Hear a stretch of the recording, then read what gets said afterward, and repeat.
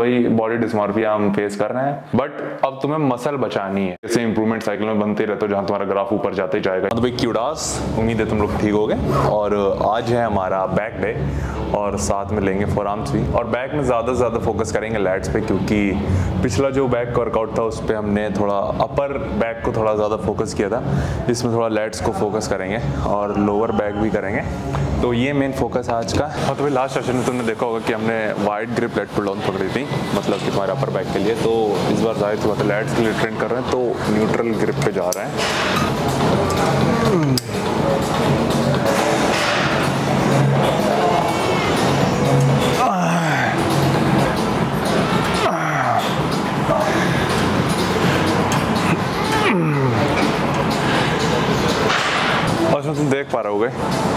हमारी एल्बोज जो है बॉडी के काफ़ी ज़्यादा क्लोज रहती हैं। और वही मेन तुम कॉन्सेप्ट लगा सकते हो कि अगर तुम लैट्स को ट्रेन करना है तो एल्बोज तुम्हारी बॉडी के क्लोज होंगी होंगी।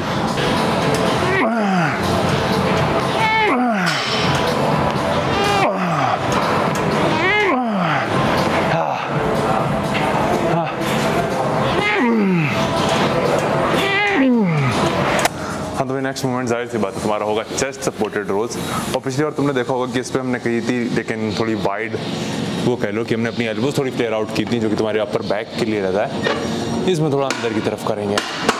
और ये एंगल हम सबसे सॉफ्ट एक तरीके से पोजीशन पाते हैं, जहाँ पे हमारे लेट सबसे ज़्यादा इंगेजिंग होते हैं। और कह सकते हैं कि बॉडी बिल्डिंग काफ़ी ज़्यादा एक तरीके से सब्जेक्टिव चीज़ है। तो कई चीज़ों में हो सकता है कि तुम ज़्यादा बेटर एंगल पाओगे, थोड़ा सा इससे ज़्यादा है थोड़ा सा कम डिपेंड करता है तुम्हारा बॉडी स्ट्रक्चर या फिर किसमें तुम सबसे ज़्यादा कंफर्टेबल फील करते हो। तो फाइंड दैट स्वीट स्पॉट पिछली बार तुमने देखा होगा कि हमने अपनी एल्बोज को थोड़ा बाहर की तरफ़ लेयर आउट कर रहे थे। इसमें हम अंदर की तरफ़ ले आएँगे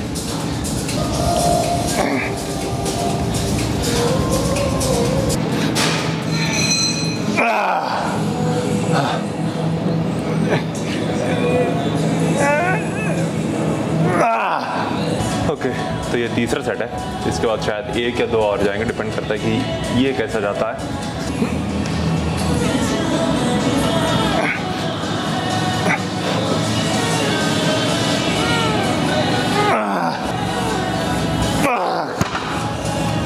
तो भाई एक लास्ट सेट अटेम्प्ट करेंगे। वो होगा 90 से। कोशिश रहेगी क्योंकि 75 में आठ आए तो इसमें कुछ छः के आसपास आ जाएँ तो खुश रहेंगे।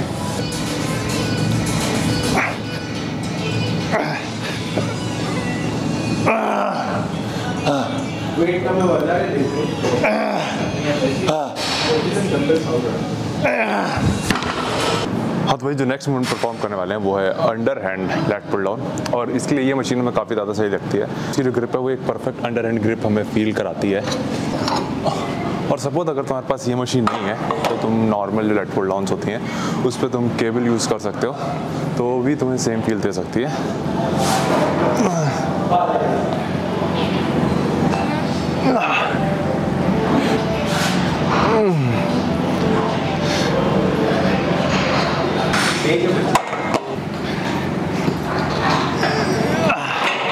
एक चीज़ है, कोशिश करो तुम पूरा नीचे तक लाके उसको स्ट्रेच कर सको, ताकि तुम फुल कॉन्ट्रैक्ट कर पाओ अपने लेट्स को।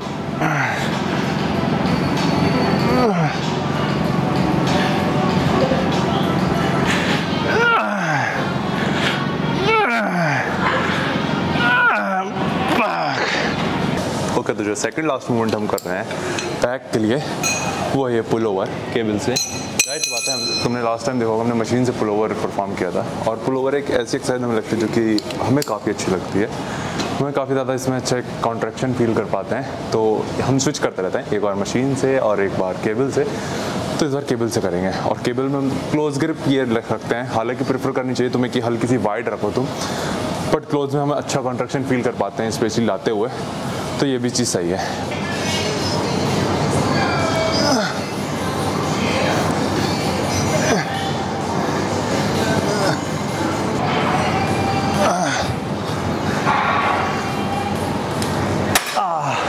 तो इस एक्सरसाइज के बाद हम काफ़ी ज़्यादा वाइड फील करते हैं। तो एक बार ज़रा इसमें चेक करते हैं ये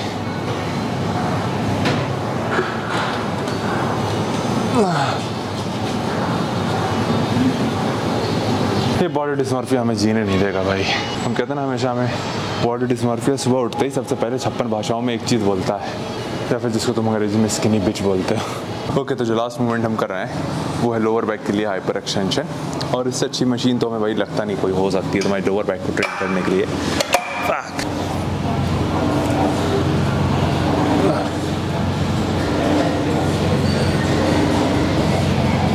तो ज़ाहिर सी बात है, किसी भी एक्सरसाइज की तरह इसमें भी ऐसा नहीं है कि 100 200 रेप्स ही करते जाओगे या फिर 20 30 के आगे रेप्स करने में बोरियत ही होती है। तो इसमें तुम वेट बढ़ाओ। तो वेट कैसे बढ़ाओगे? तुम प्लेट ऐड करोगे।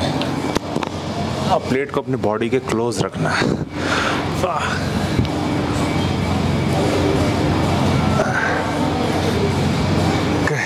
तो सबसे पहले फॉर आर्म स्टार्ट करेंगे रिवर्स कर्ल से। और केबल से अच्छी क्या ही हो सकती है इसके लिए?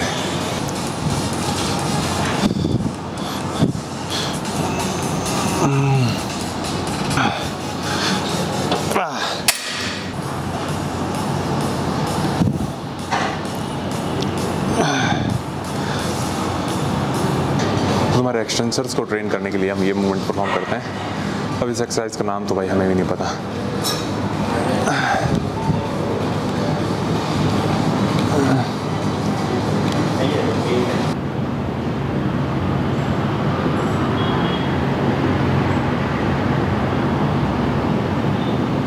तो भाई क्यूडास, तुम्हारा स्वागत है फिर से किचन टॉक्स के, पता नहीं कौन से नंबर के एपिसोड में बट तुम्हें पता ही होगा।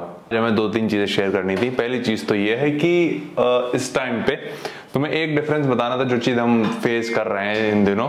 वो ये है कि स्पेशली जब तुम फैट लॉस कर रहे होते हो तो दो चीज़ें मान के चल। लो एक फैट लॉस स्टेज होती है और एक श्रेडिंग स्टेज होती है। तो फैट लॉस का क्या सीन है कि तुम्हारे पास हायर नंबर्स हैं मतलब मान के चलो तुम बहुत ज़्यादा ही वेट में हो और बहुत ज़्यादा फैट है तुम्हारे पास मतलब तुम होल्ड कर रहे हो बेसिकली तो उस केस में क्या होता है कि शुरू की स्टेज में तुम कोई भी बॉडी डिस्मॉर्फिया फेस नहीं करोगे। एजन मतलब कि तुम क्या है कि तुम्हारा वेट नीचे जाएगा। तुम्हें पता होता है कि भाई शुरू में हमारा मेजोरिटी फैट ही कम हो रहा है।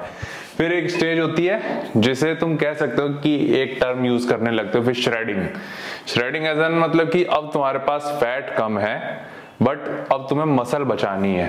तो उस फ़ेज़ में तुम सबसे ज़्यादा फेस करते हो उस फ़ेज़ में तुम सबसे ज़्यादा फेस करते हो बॉडी डिस्मॉर्फिया इस स्टेज में तुम एक दिन फील करोगे कि I am looking like a fat fuck और अगले दिन तुम फील करोगे कि आई एम स्किनी तो ये सीन हो रहा है इन दिनों हमारे साथ भी। तो काफ़ी गंदी चीज़ होती है और काफ़ी गंदी फ़ेज़ भी होती है। और इन दिनों तुम्हें एक छोटा सा अपडेट और देना था। डाइट में हमने एक छोटा सा चेंज किया है। वो है कि इस हफ़्ते से आ, क्योंकि हम काफ़ी ज़्यादा श्रेडेड होने लग रहे हैं। मतलब हम ट्रैक करते रहते हैं अपनी वेन्स वगैरह की कितनी पॉपअप हो रही हैं और विजिबली भी कि कैसे दिख रहे हैं प्लस वेट स्केल सारी चीज़ें हम ट्रैक करते हैं। तो उसमें पता ये चला है कि हम टाइम के हिसाब से जल्दी श्रेड होने कर, होने लगे हैं। मतलब कि ज़्यादा जल्दी अब फैट कम होने लगा है और हमें लगता है कि अभी दूसरा ही हफ़्ता चल रहा है और हमारे पास टाइम है फ़िलहाल के लिए। तो उसके अकॉर्डिंग हमने अभी कुछ कैलरीज बढ़ानी है और कैलरीज सिर्फ़ बढ़ाएँगे हम प्रोटीन के थ्रू तो बेसिकली अभी हमने चिकन बढ़ाया है। मतलब कि पहले तुम्हें पता था दिन का हम 250 ग्राम लेते थे। तो अब हमने उसको बढ़ा के, क्या कहते हैं 300 साढ़े तीन सौ कर दिया। मतलब 300 के ऊपर ही है वो। और, क्या कहते हैं, दूसरी एक चीज़ हमने प्रोटीन की बढ़ाई है, वो है स्कूप। अभी बीच में हमने डेढ़ स्कूप लेते थे मतलब वन एंड हाफ़, जो कि पूरा का पूरा हमारा बनता था। उसमें आता था, क्या कहते हैं, प्रोटीन वेफल्स में। तुमने तीसरी मील देखी होगी मेरे ख्याल से तो वो प्री वर्कआउट मील में। बट अब क्या सीन है अब हमने उसमें दो स्कूप कर दिए मतलब कि उसमें भी अराउंड तुम्हारा 14 ग्राम प्रोटीन बढ़ा है और प्लस इधर करीब 50 ग्राम से ऊपर अगर हमने चिकन बढ़ाया है तो इधर भी तुम्हारा कुछ नहीं तो 15 ग्राम के आसपास बढ़ा होगा मेरे ख्याल से। तो इन टोटल हमने करीब 20 से ऊपर, यानी 20 से ऊपर 25 ग्राम के आसपास प्रोटीन बढ़ाया है। तो इतनी चीज़ें ट्रैक कर रहे हैं और और एक सवाल हमारे पास अच्छा आया था कि जैसे हम डाइट प्लान बनाते हैं, वैसे आप कैसे मतलब कि एक बंदा कोई इंडिविजुअल है, वो कैसे अपना डाइट प्लान बना सकता है? तो उसका सीन ये है कि भाई पहली चीज़ तो है, कुछ चीज़ें तुम अपने एक्सपीरियंस के साथ ही सीखते हो। मतलब कि तुम अपनी बॉडी को मतलब कि तुम्हारी खुद की बॉडी तुमसे ज़्यादा कोई और नहीं जान सकता। है ना, कि तुम्हें क्या पसंद है, क्या नहीं पसंद है, कि क्या खाने से तुम्हारी बॉडी पॉजिटिवली रिस्पॉन्ड करती है या फिर क्या नहीं खाने से उसका पेट खराब होता है या फिर बहुत निगेटिवली रिस्पॉन्ड करती है, ये तुमसे बेहतर कोई नहीं जान सकता।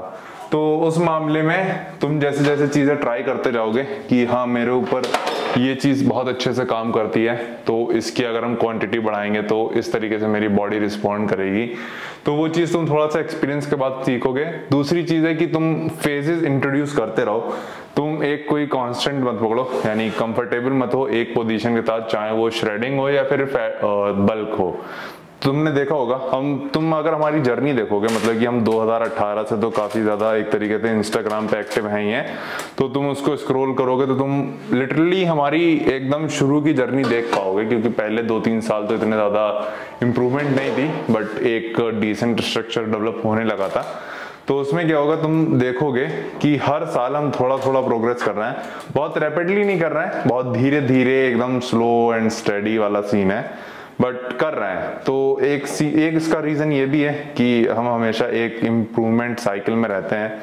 कभी वो फ़ेज़ में नहीं जाने देते खुद को कि हाँ चलो अब क्या कहते हैं श्रेड पे हैं एब्स हैं तो एब्स ही पे ही मतलब कि फ़ोटो अच्छी आ रही हैं तो उसी में रहे।